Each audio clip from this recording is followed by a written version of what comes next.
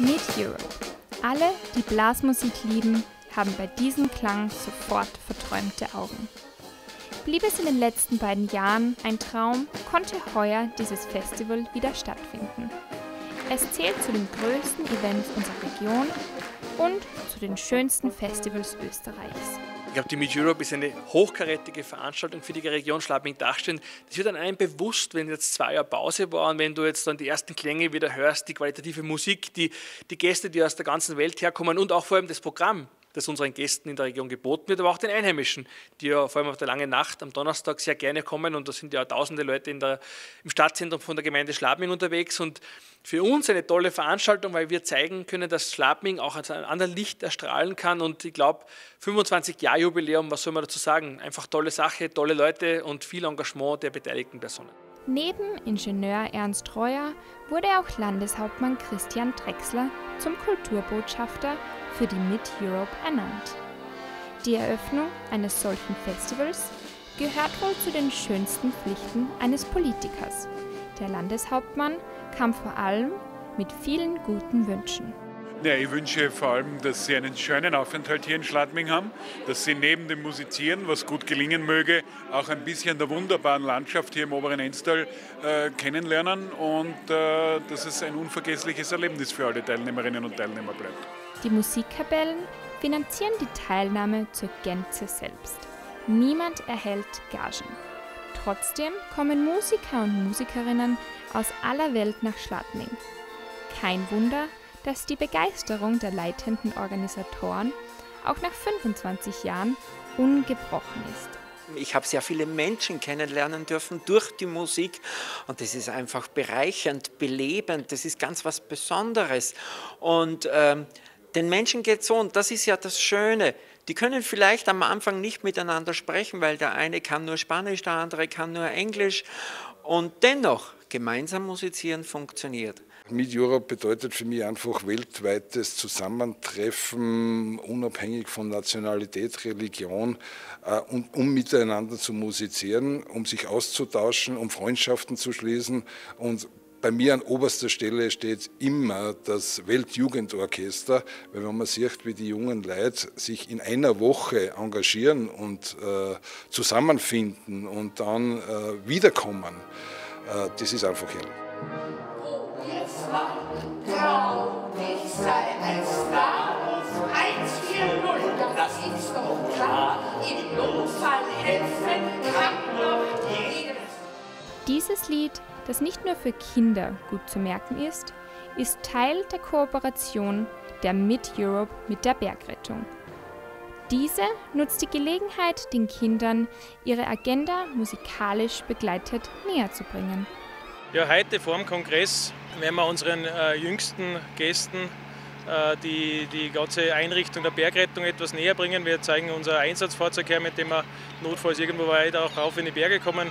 Wir zeigen, was wir so an, an Rettungsmaterial dabei haben. Äh, wir werden den Kindern ein bisschen erklären, was ist die Bergrettung, wann braucht man die Bergrettung, wann und wie kann ich die Bergrettung verständigen. Und in weiterer Folge werden wir noch eine kurze Schauübung ähm, dann präsentieren, wo wir die sozusagen vom Dach einmal uns abseilen und eventuell dann ein, zwei Kinder auch einmal ein Stück raufziehen und denen das zu zeigen.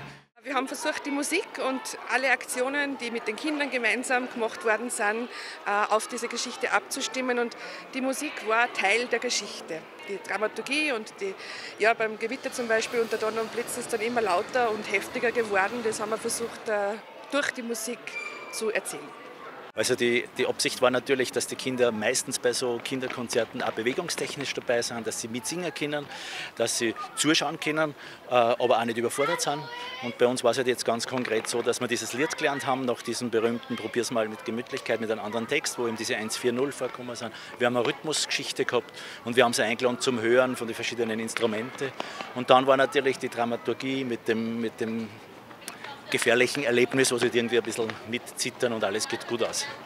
34 Orchester, 84 Konzerte, 1500 Musiker und Musikerinnen aus 19 Nationen sind beeindruckende Zahlen, mit denen die Mid Europe aufwarten kann.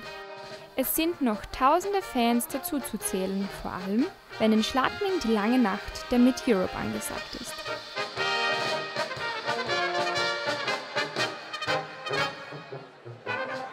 Eine wunderbare Veranstaltung, ein großes Highlight für Schladming. So viele Leute da, wunderbar. Ein toller Abend. Das ist quasi ein Must-Have für jeden Musikanten bei uns im Bezirk. Deshalb, es ist eine super Stimmung. Wir sind sehr begeistert.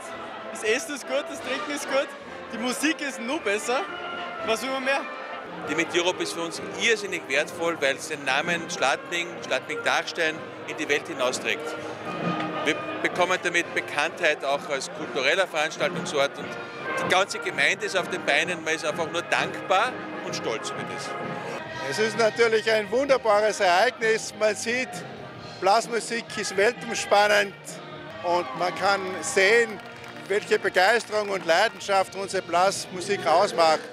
Ein Tattoo in der Blasmusik bedeutet kunstvoll marschierende Kapellen, die mit komplizierten Formationen beeindrucken. Ein weiterer Höhepunkt der Mid-Europe war, als die über 200 Mann und Frau starke Michigan State University Spartan Marching Band ihr Können zeigte. Ja, das große Tattoo der Mid-Europe 22. Eine Marschshow, die es so nirgends gibt. Wir haben dabei die regionalen Kapellen natürlich ganz vorne hinan dann haben wir den Musikverein Lassing, die Militärmusik Oberösterreich mit Unterstützung von der Garde Musik Wien, Militärmusik Vorarlberg und die Saratoga Percussion Ensemble, das Highlight, die Michigan State Marching Band. Das sind 223 marschierende Musiker. Wir haben ja schon die Parade beim Hereingehen gesehen und die werden da eine Show auf die Planei, auf den Asphalt zaubern, was man glaube ich bei uns einfach noch nie gesehen hat. Die kommt ja aus der Football-Tradition aus Amerika Amerika und das gibt es einfach bei uns nicht. Und wir sind so froh, dass wir jetzt einmal eine amerikanische Marching Band da haben, die das demonstriert, was da drüben so los ist.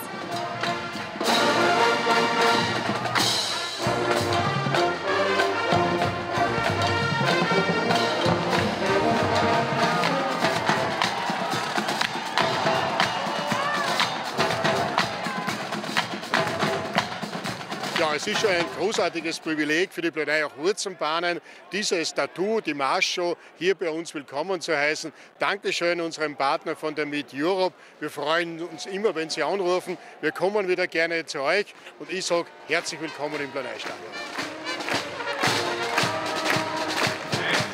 Mir fällt es voll gut und mir gefällt auch, fürs Tanzen und so, das muss ganz schön schwer sein, das zu merken, wo man jetzt auch hingehen muss. Und wenn man heute sieht, da diese äh, Tattoo-Show, also da kann man nur äh, glücklich sein, sich wohlfühlen.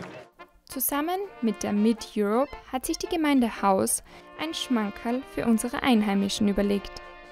Der Horgast, eine Enstaler Tradition, wurde wieder zum Leben erweckt.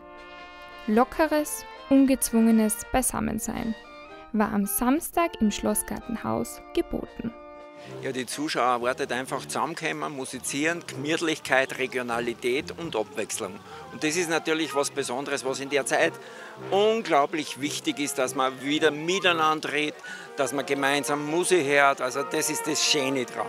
Ich glaube, es ist einfach erdige, bodenständige Musik, schöne Harmonien, die was das Herz, die Seele berühren.